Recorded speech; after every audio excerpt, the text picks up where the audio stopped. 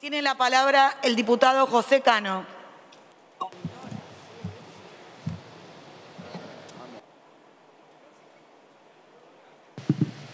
Gracias, presidenta.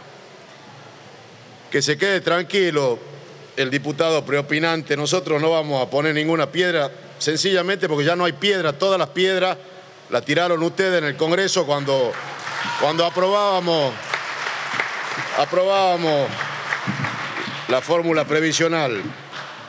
Realmente, mire, Presidenta, es bueno preguntarse por qué, por qué hemos llegado a esta instancia.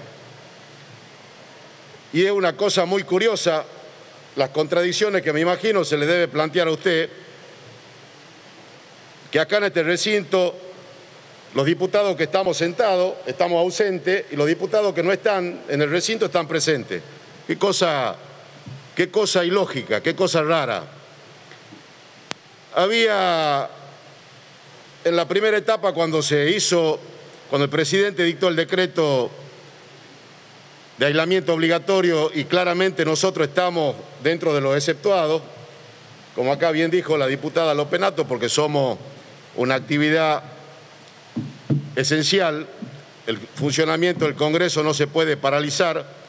La primera reflexión ¿Qué privilegio tenemos nosotros como diputados de la Nación ante cientos y miles de trabajadores que han sido exceptuados del decreto, que circulan todos los días por la ruta llevando la producción, los alimentos, que son sometidos a vejámenes en algunas provincias que le ponen faja a las puertas y no se puede ni siquiera bajar en las estaciones de servicio, o los tantos trabajadores del área de la salud recolectores de residuos que todos los días tienen que levantarse para ir a trabajar.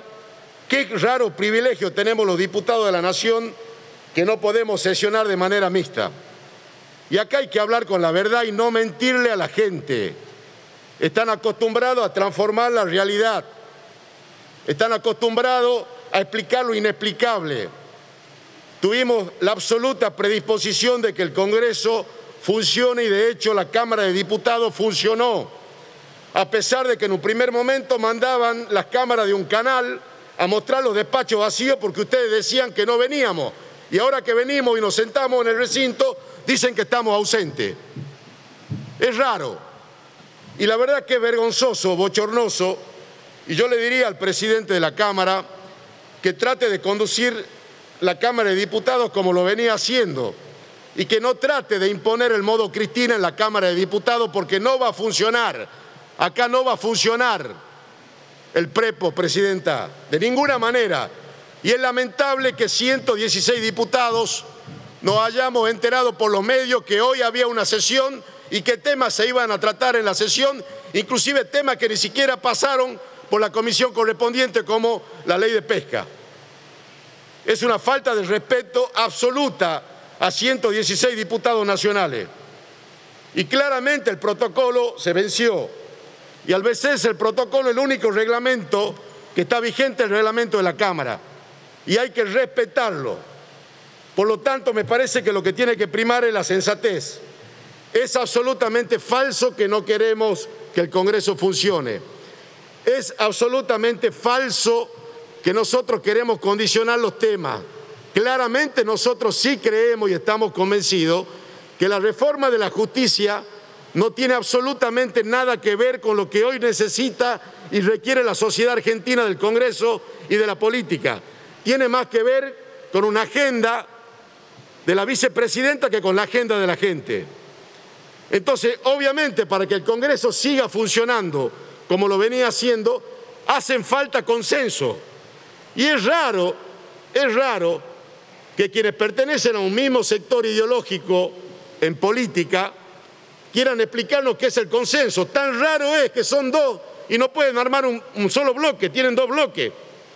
Como de la misma manera que es raro que en la labor parlamentaria se ponga en valor la opinión de un presidente de bloque que se representa a él mismo con respecto a un presidente de un interbloque que representa a 116 diputados.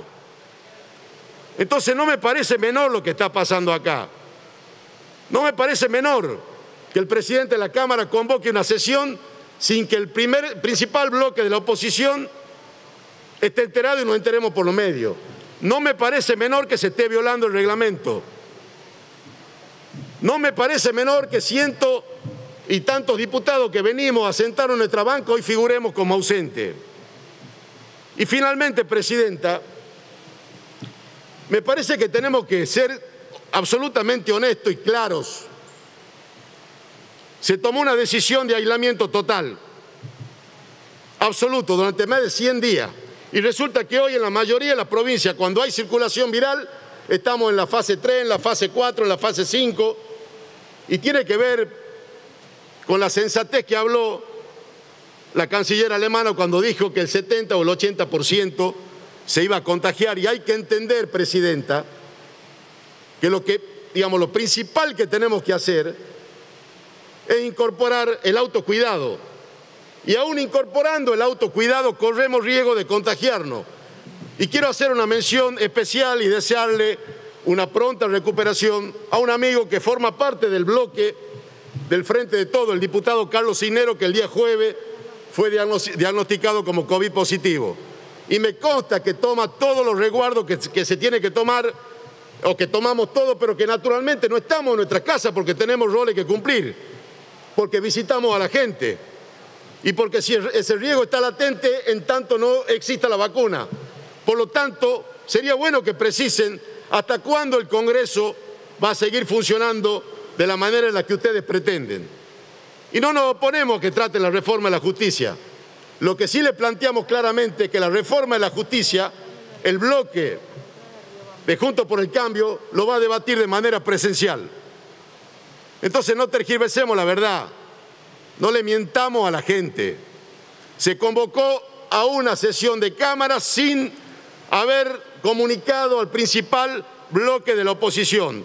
El protocolo está vencido y el único reglamento que está vigente es el reglamento de la Cámara. Y también hay que actuar con la ejemplariedad porque no se le puede pedir a la gente que esté en su casa que no circule, que no salga, y el presidente mostrarse con el secretario general de Camionero y su familia sin aislamiento social, prácticamente abrazado, sin barbijo y sin ningún cuidado, porque las imágenes también valen, presidente.